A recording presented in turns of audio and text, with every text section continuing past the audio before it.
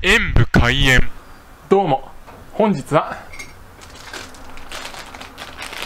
こちら山崎パンの製パンのマンゴー蒸しケーキを食べたいと思います。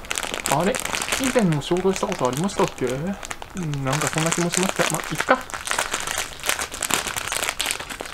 いろいろ新しくなってますし改めてということでその時は。でああ中身はこんな感じですね。蒸しケーキ。はい。ではいただきます。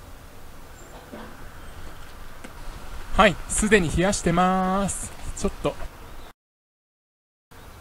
しっとりとしたマンゴー蒸しケーキを噛むとふわーっとした食感とともにマンゴーの香りが口中に広がります。甘くてしかもちょっと果肉もあって歯ごたえも楽しむことができてとっても美味しかったです。マンゴーもっといろいろ食べたいです。ご視聴ありがとうございました。コメントしていただけると嬉しいです。